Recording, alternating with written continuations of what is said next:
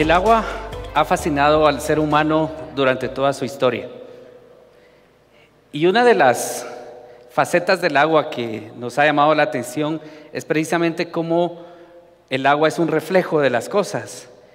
Y esto coincidentemente simboliza el aspecto dual del agua, es la dualidad del agua.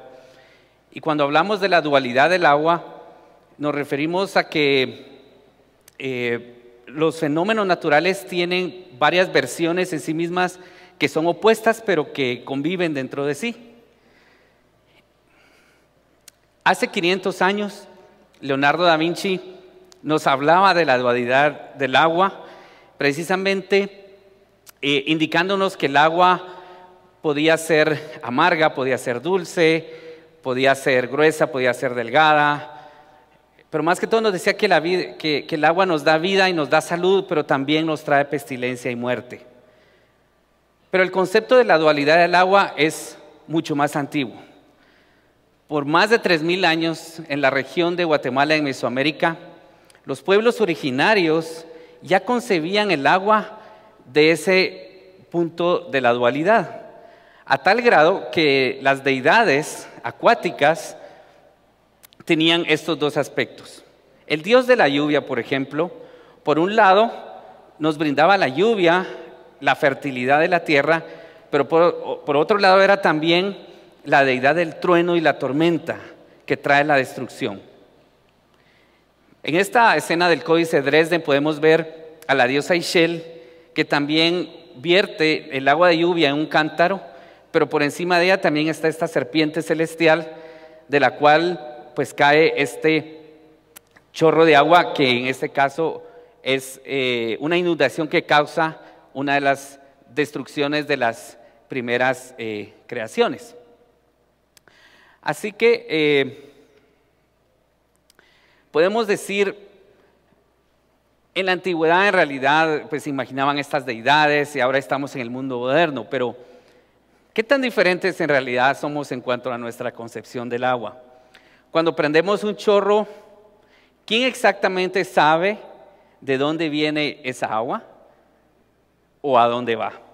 Así que cuando abrimos el chorro es casi que como el, chorro que cae de la serpiente, como por arte de magia, porque no estamos conscientes de ese ciclo del agua que nosotros tenemos. Y la tecnología nos brinda esa magia de tener agua en un chorro. Así que lo único que, si no sabemos a dónde va o a dónde viene el agua, lo que sí sabemos es que tenemos que pagar por esa agua, ya sea a, una empresa o es el gobierno que nos la brinda. Y eso sí es em, un eh, factor común en la historia de la humanidad. Porque el ser humano ha elegido dónde vivir dependiendo de las fuentes de agua. Controlando el agua, las mayores civilizaciones en la historia de la humanidad han transformado regiones incluso hasta desérticas en grandes ciudades. Aquí vemos, por ejemplo, el río Tigris que atraviesa la ciudad de Bagdad y fue el corazón de todas las civilizaciones en Mesopotamia. O también el río Tíber fue de donde surge el imperio romano, o el río más grande del mundo, el río Amarillo, que ha sido el fundamento del desarrollo de la civilización de China por más de 8.000 años. O, ¿por qué no?, el eje central de la economía de Estados Unidos, el río Mississippi. Pero si bien el manejo de agua ha sido la clave para el surgimiento de las civilizaciones, la falta de agua también, en este aspecto dual, eh, puede causar el abandono y la destrucción del ser humano.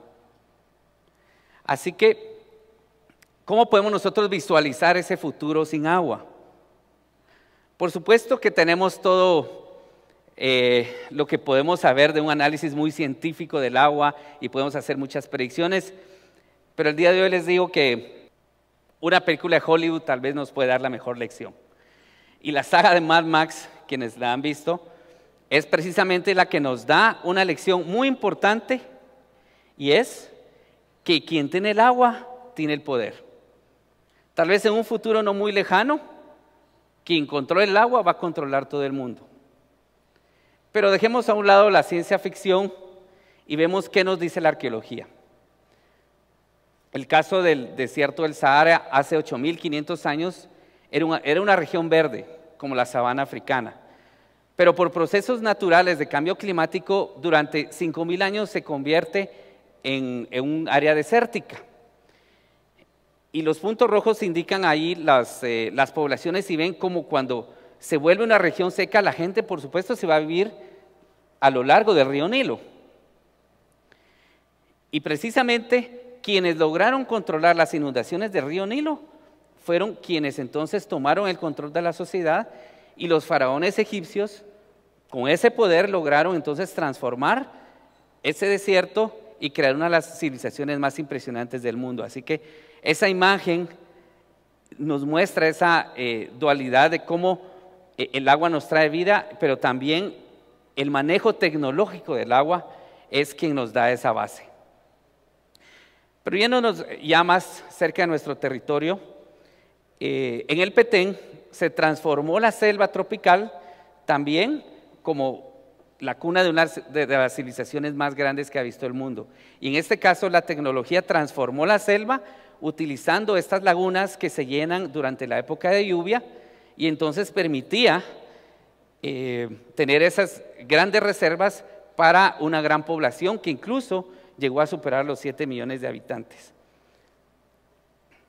Los gobernantes de las ciudades mayas entonces contaban con un equipo de ingenieros hidráulicos que desarrollaron la tecnología y el conocimiento para poder almacenar el agua suficiente para mantener ciudades de más de 100 mil habitantes a lo largo de todo el año. Y fue un sistema tan eficiente que hizo que esta civilización lograra ser sostenible por más de un milenio. Si nos vamos ya más cerca al caso de la situación de la ciudad de Guatemala, también acá, en tiempos antiguos, existía la ciudad de Caminal Juyú, la cual, como pueden imaginarse, también se diseñó alrededor del recurso hidráulico del lago Miraflores, ahora abajo de lo que es la mayor área comercial de la ciudad de Guatemala. Y el lago Miraflores fue aprovechado mediante un sistema también de canales hidráulicos muy sofisticados que incluso llegaron a tener un sistema de compuertas similar al que se usa hoy en día en el canal de Panamá. Pero el símbolo del avance hidráulico en Caminal Juyú es el acueducto conocido como el Montículo de la Culebra, el cual abastecía también al Valle de Guatemala en tiempos eh, prehispánicos, fue construido hace 2500 años y en el siglo XIX fue aprovechado por los ingenieros eh, españoles y se construyó entonces un acueducto de ladrillo sobre el antiguo acueducto eh, de Caminal Juyú. Este acueducto llevaba agua desde Santa Catarina Pinula y tenía una longitud de más de 5 kilómetros, lo que lo hizo una de las obras hidráulicas más grandes de toda Mesoamérica. Pero eh, qué bien, estas ciudades fueron planificadas de una manera muy eficiente, fueron muy exitosas, pero de nuevo, viendo este aspecto de la dualidad, del agua, eh, son ciudades que fueron también vulnerables a los efectos destructivos del agua. Y aquí es donde podemos analizar cómo cada sociedad tiene una capacidad de respuesta ante el efecto destructivo del agua. Recientemente hemos visto cómo el agua puede causar mucho daño, incluso hasta las ciudades más modernas.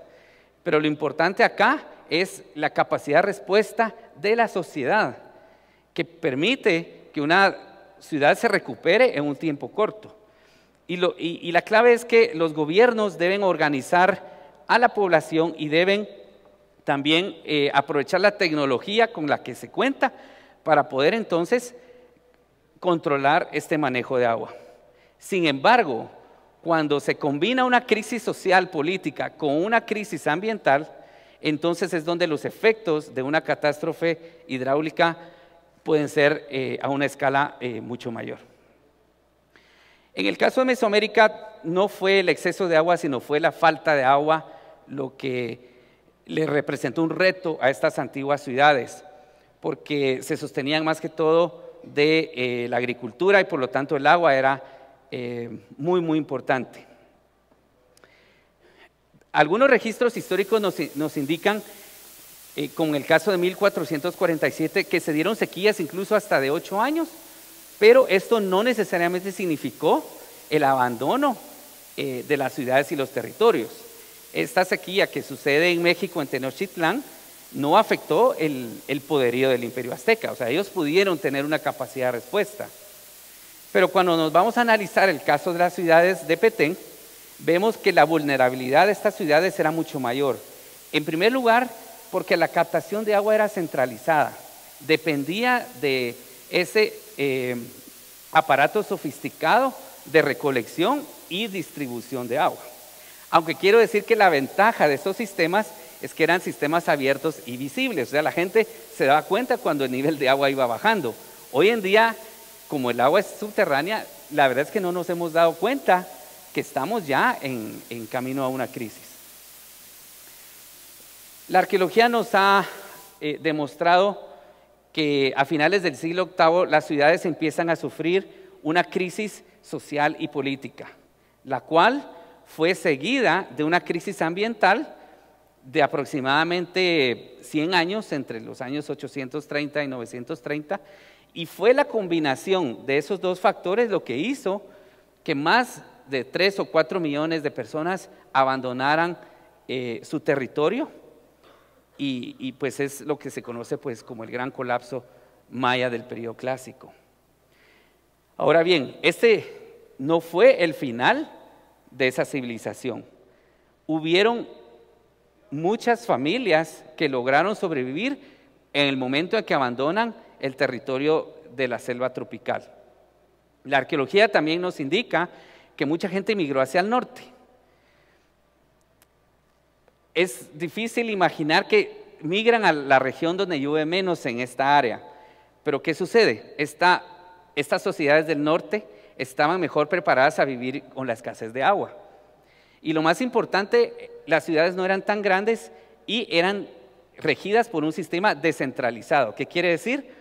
Que cada familia recolectaba su propia agua y no dependían de un aparato estatal para obtener el agua que ellos necesitaban. Así que aquí es donde empezamos a aprender las lecciones básicas y claves en cuanto a cómo una sociedad responde ante eh, una crisis de agua.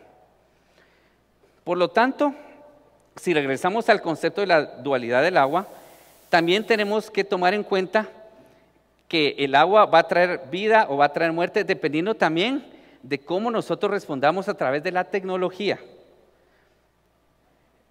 Y aquí la pregunta es, ¿la tecnología actual nos está preparando para la escasez o nos está volviendo más vulnerables? Yo sí les digo, cuando falte el agua, no creo que los teléfonos inteligentes ni las tarjetas de crédito nos vayan a solucionar el problema. Acá creo que la decisión es si la tecnología nos está dando las respuestas que nosotros necesitamos. Y aquí eh, ya hemos aprendido de sociedades pasadas como los mayas que la clave es el almacenamiento de agua y la autosostenibilidad. A tal grado que ya tenemos muchas ideas, tal vez no implementadas en Guatemala, pero en muchos países sabemos que hay gente que está desarrollando métodos para que cada familia pueda almacenar su propia agua y no depender de que una empresa o un gobierno me resuelva el problema a mí. Así que está en nuestras manos el, tomar esas decisiones o simplemente seguir pensando que el agua va a salir de nuestros chorros como por arte de magia. Muchas gracias.